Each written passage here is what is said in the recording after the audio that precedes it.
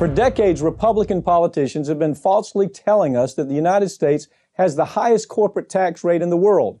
And it was because of this allegedly high corporate tax rates that corporations were hiding billions of dollars offshore accounts routinely. So naturally, we needed to cut taxes so corporations would bring that money back home. Six months ago, the years of spreading those corporate sponsored uh, talking points paid off and the new tax law that slashed the tax rates for multi billion dollar corporations went into effect.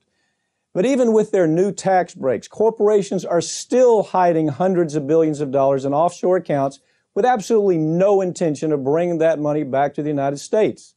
The amount that U.S. companies hide overseas each year is a little more than $600 billion. The reason for that is because the language of the new tax law actually gives corporations more incentives to hide money in offshore accounts because it's taxed less than money that they make in the, in the U.S. For years, corporations have been playing a shell game in places like the Cayman Islands and Switzerland. They create corporate headquarters in these countries, which usually consist of nothing more than a post office box, and they claim that this is their corporate headquarters. So even though they make all their money in the U.S., they ship all the profits to phony overseas headquarters in order to further reduce the amount of taxes that they have to pay. And the worst part of all that is it's perfectly legal because the people who write the laws are completely owned by these corporations.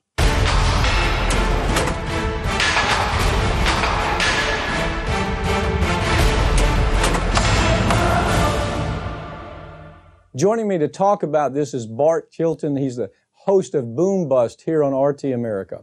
Bart, start by telling us how the new tax law actually makes it more profitable for companies to keep their money offshore because that's what it's going that's that's the new routine isn't it Absolutely, counselor. Well, I mean, the, the deal is that the tax rates, as you were alluding to, dropped from 35% for U.S. companies down to 21%. Uh, That's the good news for companies. But uh, when you compare where they might have be taxed in, in islands like the Caymans, like Switzerland, or like Bermuda, Bermuda is the big new one, Mike, uh, uh the, the tax rate could be zero. And so there are still provisions, and this is particularly true for the drug companies, for example, uh, where if you place your patent in Bermuda, for example, then you don't have to take any profits in U.S. profits, that is. So you're not taxed upon it. So it's still sort of a shell game. These are paper profits that are taking place all around the world, but not in the U.S. And we've really got to get tough on this stuff if we want to bring these, repatriate is the word they use, of course,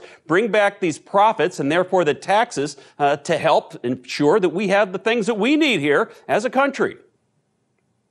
Well, let me, let me let's let's back up a little bit, okay? The same people who wrote this law were the same people who gave them the tax breaks to begin with. And you know what? Remember what they said. Give these corporations tax breaks and they're going to share it with employees. Everybody's going to be happy because the employees are going to be happy. They're going to make more money. And so what ended up really happening is just the opposite. The corporations, they bought back their stock. They gave their CEOs big bonus. And the third thing they did was started parking their money offshore to take it away from our infrastructure in the United States. When people like Paul Ryan were selling this tax bill, they, they told us that corporations would absolutely bring back the money. That never has happened, has it? Has, it? has it ever happened in history that when we give a big corporation a tax break, that they share it with the employees and, and the trickle down takes effect because the employee then goes and buys goods in the United States. Have you ever really seen that happen? It, it's more not trickle down, counselor. It's more trickle on, is what we've seen over the years.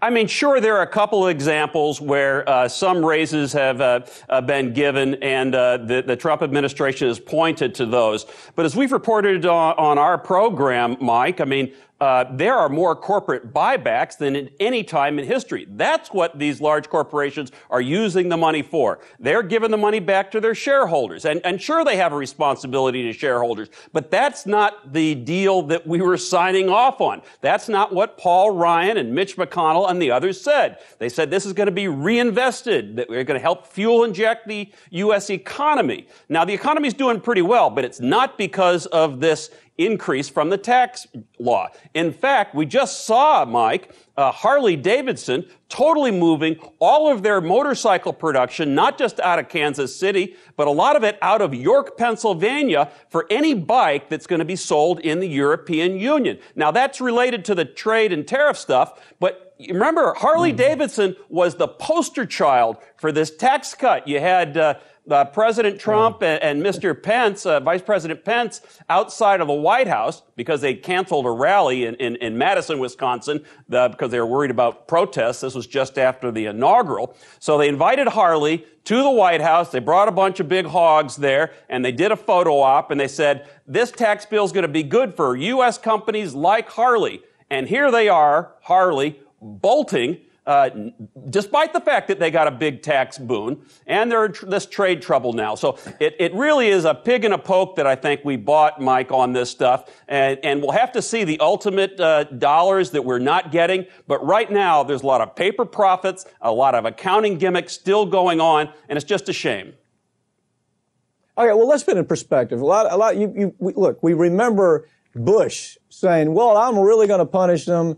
We're going to bring that money back into the country or else. And then, then Obama, we're going to bring that money back into the country, country arts. Remember the tough talk? The tough talk was, well, we're, we're not going to let them get away with what they want. Here's what they want. They want, it, they want all the tax cuts in the United States, which they got. Then they want to park it offshore and negotiate with the U.S. government and say, well, we want to bring it back in, but we only want to pay 5% taxes. We only want to pay 3% taxes. And so the administration simply says, well, we could use that money back into the economy. So yeah, we're going to, we're going to, uh, we're going to work with you. I, I remember I, just as distinctly as I can, Obama, you know, almost this tough talk. Well, we're not going to let you do that. Well, he did. And Bush did. And Trump is going to also. So you got a, you got a corporation that's basically paying somewhere around 5% taxes by the time it's all over. How does this scam work beyond that? Uh, what, what are the intricacies of the scam beyond that? Well, again, there's, there's the, the in, in the uh, pharma sector with uh, uh, you know, folks like Pfizer, uh, big pharmaceutical company based in the U.S., who hasn't not reported a profit in, in a decade, Mike. Uh, you know, what they say is, look, we've got our, we're domiciled in the U.S., uh, but then they go ahead and they put their patents in places like Bermuda or like the Caymans, and right. so they don't have to include profits they make on those drugs. And look, there are some new drugs out there. There's an uh, a, a, drug out there right now that's costing $60,000 for individuals to take a, a year. Uh, you know, that's crazy sorts of money. They're making profits on that, but they are parking the patents overseas. That's one way. Another way is yeah. they just say that they're spending all this R&D money here in the US, therefore they're not having profit, they're not, they're, they don't, they're not profitable, but the profits are coming in overseas. It, it, and, and, you're absolutely right, uh, counselor, when you talk about it's not just the Trump administration, it's not just Bush, it's not just Obama. A lot of these politicians, and I've seen them for 30 years, uh, it's like that old Steely Dan song go back, Jack, do it again, we'll go round and round. Mm-hmm. They'll figure out a way to do this. Mm-hmm. And so uh, I'm just worried that taxpayers think that, uh, you know, they've done a whole lot here, when in fact, and I'm glad you're bringing it to light, Mike, it's not what they billed it as. Yeah. Well, you know, you're talking to somebody who has gone toe to toe, uh, go to war with pharmaceutical companies all the time. First of all, I have no hesitation to tell you, it on its face, dealing with it, it's one of the most corrupt corporate entities I deal with day to day. I mean, from top to bottom, they're always looking at a way to scam the consumer and steal from taxpayers.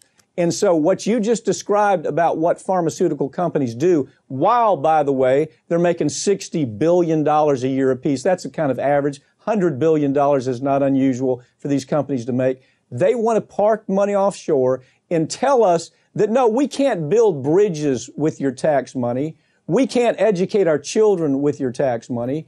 We can't, we can't build infrastructure with your tax money. We can't take of American, care of American citizens because the, the pharmaceutical corporate types have, have worked this scam to such a science that they have no intention of bringing the money back in unless they can hold up taxpayers, you and me, literally hold us up. We have to pay taxes at, at a rate, you know, regular rate. They come in and they pay taxes three to five percent. And the tragedy is, I've never seen a politician besides Bernie Sanders who was willing to stand up to that. Uh, you know, Bart, let's remind people, uh, let's remind people of some of the promises we've heard over the years coming from these companies. We're talking hundreds of billions of dollars that are being $600 billion a year. Let's remind, uh, remind some of these folks that, uh, that we got a budget, the, Congress released a budget with 2019. The budget calls for a $5 trillion uh, budget cuts to things like Social Security, Medicaid, Medicare, and this is all happening while these thugs, primarily pharmaceutical thugs, are hiding all this money offshore. What's your take on that? A, couple of Dress things. it up if you can. well, it, it, it, you know, I, I, hate to use uh, legal words, particularly with a lawyer, and I learned from my regulatory days, uh, don't some, say something is criminal when it actually doesn't meet the definition of the law. But in common parlance, it seems criminal to me, Mike. I mean, uh, we have real needs here, and I think one of the big uh, I think errors in the administration is that they started uh, not with infrastructure, not with the, the crumbling roads and bridges, et cetera, uh, things that are really needed that could provide jobs, but they started with this tax cut, which primarily went to the wealthy. I mean, that, it's a permanent uh, uh, tax cut for corporations, and then the wealthiest among us get the biggest benefit also on the individual income taxes. So I just think you know it's it, it's it's the wrong way to go. And let me just go back to your yeah. three to five percent yeah. real quickly. Bart, look. Go ahead. Bart, as as we go on this year, let's let's have some kind of tally once the once the number exceeds 600 billion dollars, let's let viewers understand that that's money that they're that these corporations are stealing from them, stealing from their tax base. Thanks for joining me, Bart. Pleasure, Mike.